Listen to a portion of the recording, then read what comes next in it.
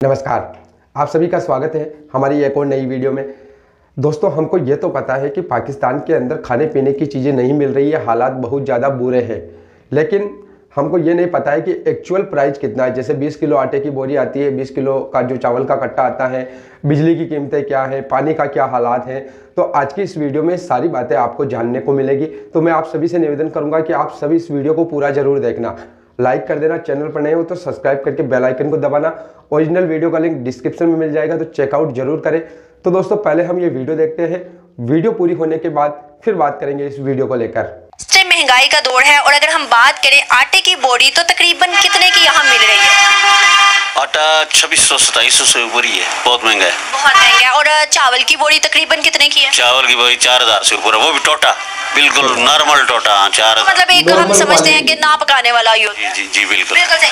चारा चावल छह हज़ार से ऊपर है। छह हज़ार। पच्चीस किलो। तोड़ी। हाँ पच्चीस किलो।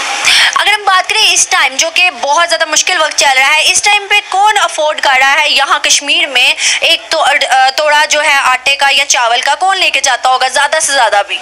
बस बहुत कम ही लोग लेके जा रहे हैं या कोई सरकारी मुलाजम जो है अच्छी तनख्वाह वाला हो या कोई थोड़ा एक किलो दो किलो पे किलो दो किलो वाले लोग रह गए हैं सब।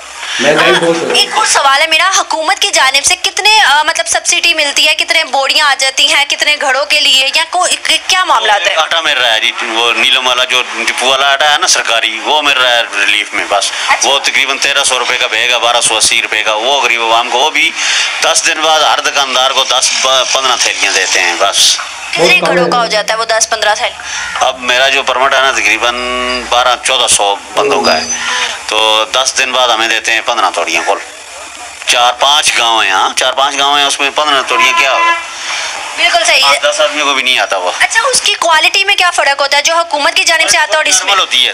पिंडी वाले से इससे ये ज़रा अच्छा होता है लेकिन ये सताईस सौ साढ़े सताईस सौ रुपये की तोड़ी। खाने के काबिल होता है। बस बात होता है बात नहीं होता है। बात बहुत काला होता है। अंकल क्या लगता है माशाल्लाह आपकी उम्र भी काफ़ी है मेरे से ज़्यादा एक्सपीरियंस भी होगा और यहाँ पर जो है रहायशी भी आप काफ़ी देर के होंगे। मुझे बताइएगा अगर हम देखें तो पाकिस्तान एक ज़रूरी मुल्क है। ज़रूरी मुल्क होने के बावजूद आज आटे की शॉर्टेज है दो टाइम का हमें रोटी नहीं मिल रही। क्या समझते हैं ज़रूरी मुल्क होने के बावजूद आटा क्यों नहीं नसीब हो रहा? समझ नहीं आ रही जी पता नहीं ये गंदम ब्लैक करते हैं क्या है। तो गंदम तो बहुत होती है लेकिन आप ये ये देखें कल आपने सुना ऐलान कितने तो तीन चार सौ रुपये मान के साथ महँगी होगी। या गंदम नई नई फ़सल नई फ़सल आ रही है और आटा दो सौ रुपये, तोड़ी के साथ चार सौ रुपये, मन के साथ, और चढ़ गया है। ये कल की बात कर रहा हूँ। क्या पता फिर इधर हो क्या रहा है कोई समझ नहीं आ रही। बात करें कश्मीर एक मुतनाज़ इलाका है। अगर हम मुतनाज़ की बात करें तो यहाँ पर ज़्यादा सहूलियात होनी चाहिए लेकिन यहाँ आके अपनी आँखों से और आप लोगों की सबकी ज़ुबानी जो सुना है वो सबसे ज़्यादा डिफरेंट मुझे लग रहा है। यहाँ पर गरीब ज़्यादा है और रोज़गार कम है और ये नहीं है कोई बिल्कुल इंडस्ट्री जब मैं एलओसी बॉर्डर तक गई हूँ एलओसी बॉर्डर से आगे शादरा भी गई हूँ वहाँ पर सारा मैंने मतलब देखा है तो वहाँ पर एक भी चावल की फ़सल नहीं देखी। मतलब जहाँ तक क्यों नहीं होती? इधर ज़मीन ही पहाड़ी ज़मीन है। क्यों अंकल? कम हो गए हैं बहुत जल्दले अगर तो वफद मकदार में है ना। जा रहे ऊपर नहीं ये तो सहूलियात हम लोगों ने वसाइल तो खुद पैदा करने हैं नालियाँ बनानी पड़ेंगी डैम्स की सूरत में अगर मैं देखूँ एलओसी बॉर्डर से मैंने सामने देखा है तो बहुत ज़्यादा फ़सलें नज़र आ रही है। तरफ़ होगा ना इंडिया की तरफ़ होगा। अंकल क्यों? वो सुली नहरें शहर हमने देते होंगे डैम से पानी देते हैं इधर कुछ भी नहीं है। अंकल देना चाहिए ना। पता है ये ये इन्होंने सीधा दरिया भी रोक लिया है। ये भी उधर सुरंग में दाखिल करेंगे नीलम जलम बना दिया ना हाइड्रो पावर प्रोजेक्ट इसका पानी भी नहीं। क्या बेनिफिट है आप लोगों को? हमें क्या फ़ायदा गवर्नमेंट को फ़ायदा है बिजली बन रही है बस। हमें तो कोई फ़ायदा नहीं बात मैंने वहाँ नहीं है। वो भी पाकिस्तान लेके जा रहे हैं। इधर नहीं है। सही बात है। मैंने वहाँ पर आगे पूछा था सवाल किए थे लोगों से तो उन्होंने कहा कि हमें एक कमर्शियल जगह का सतारह से अठारह हज़ार बिल आ रहा है पर मंथ डैम की सूरत पे। आपकी तकरीबन दुकान नॉर्मल ही है एक दो लाइट चलती होंगी या पानी पंखा चलता हो- हज़ार बारह सौ बिल आती है। इस एक बल्ब ये एक बल्ब जा रहा है। कोई फ्रिज नहीं है कोई नहीं है बिल्कुल देख लें। पंखा भी बंद है। क्या चाहते हैं? अगर मैं दो आपके सामने ऑप्शंस रख दूँ या फिर आपको कहूँ कि भाई आज़ादी या फिर पाकिस्तान के साथ रहना तो क्या प्रेफरेंस करेंगे? क्या मतलब आपकी नज़रिया होगा?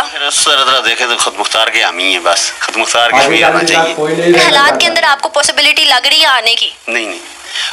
पुष्ट पे कुछ नहीं है। पाकिस्तान खुद डूब रहा है तो उनको क्या छुड़ाएगा? बात ये सोचे ना आप। पाकिस्तान खुद दिवालिया हो रहा है। क्या आपको लगता है कि हमसे ज़्यादा बेहतर हालत में वो भी हैं या नहीं है? वो हमसे बहुत ज़्यादा बेहतर हालत में है वो कश्मीर वाले भी। उधर चावल जो है ना बीस रुपए किलो है। आप बेशक पता करवा लें। उधर बहुत ज़्यादा रिलीफ दे रहा है इंडिया फिर भी गड़बड़ है भले।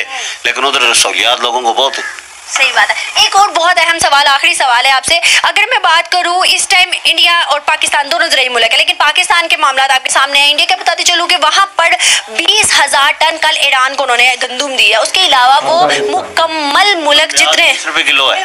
पूरी दुनिया को इस टाइम वो आटा दे रहा है मतलब गंदुम दे रहा है। क्या समझते हैं हमें ट्रेड करनी चाहिए या नहीं? हम कश्मीर मुद्दे को आज भी रख के हमारा इलाका ज़्यादातर ख़त्म हो रहा है ना पाकिस्तान में भी। पानी के मसाइल बढ़ रहे हैं उससे वजह से पैदावार फ़सलें कम हो रही हैं ना उससे बड़ा क्या हमें ट्रेड करनी चाहिए कश्मीर बॉर्डर या पाकिस्तान बॉर्डर से? ट्रेड तो होनी चाहिए। ट्रेड तो कोई चीज़ कम रेट में मिल रही है तो वो तो अच्छी बात है। सही बात है। आपने जानी? कश्मीर का मामला है वो तो आई है उस तरह देखे तो फिर तो इंडिया के साथ बात भी नहीं करनी चाहिए। लेकिन अभी भी हम मेडिसिन वगैरह बहुत खा क्या हाल हो? गरीब गुर्बत से मर रहा है तो उसका भी बंदा बोलता है फिर सस्ती चीज़ आ जाए तो अच्छा अच्छा हैं। तो दोस्तों आई होप कि आपको ये वीडियो ज़रूर पसंद आई होगी। थोड़ी इस वीडियो को लेकर बात करें ना तो वीडियो में हमको ये देखने को मिलता है और ये पता चलता है कि पाकिस्तान के है जो अंदर जो महँगाई है ना, अब वो बहुत ज़्यादा बढ़ चुकी है और खाने पीने की जो चीज़ें हैं ना, वो आम आदमी की पहुँच से बाहर हो चुकी हैं। जैसे इस वीडियो में हमको पता चलता है कि जो 20 किलो आटे की बोरी आती है, वो मार्केट में जो है ना, प्राइवेट तौर पर जो है ना सत्ताईस से लेकर तीन हज़ार के बीच में मिल रही है। वही गवर्नमेंट के द्वारा जो थोड़ा बहुत सेल किया जा रहा है अभी भी, वो बारह सौ, तेरह सौ रुपये में जो कट्टा है, वो मिल जाता है। वही चावल की अगर बात करें ना तो लगभग चार हज़ार से लेकर साढ़े चार हज़ार के बीच में जो कट्टा मिल रहा है, वो जो टुकड़ी चावल आते हैं, जो एक नॉर्मल क्वालिटी होती है, लेकिन जो बासमती राइस आता है, जो उच्च क्वालिटी के जो चावल आते हैं, उनकी जो प्राइस है ना, वो छः हज़ार रुपये से भी ऊपर जा चुकी है। तो महँगाई जो है ना, बहुत तेज़ी से पाकिस्तान के अंदर जो है बढ़ रही हैं, क्योंकि डॉलर के मुकाबले जो पाकिस्तानी रुपया है, वो रिकॉर्ड लो टाइप चला गया है 300 तक पहुँच चुका है, जिसकी वजह से महँगाई बढ़ रही है इन्वेस्टमेंट आ नहीं रहा है। तो कुल मिला के देखा जाए तो पाकिस्तान के जो हालात है ना, वो अच्छे नहीं है। बाकी आप इस वीडियो के बारे में क्या सोचते हो, हमें कमेंट करके ज़रूर बताना। मिलेंगे हम अगली नई वीडियो में, तब तक के लिए आप सभी का बहुत बहुत धन्यवाद।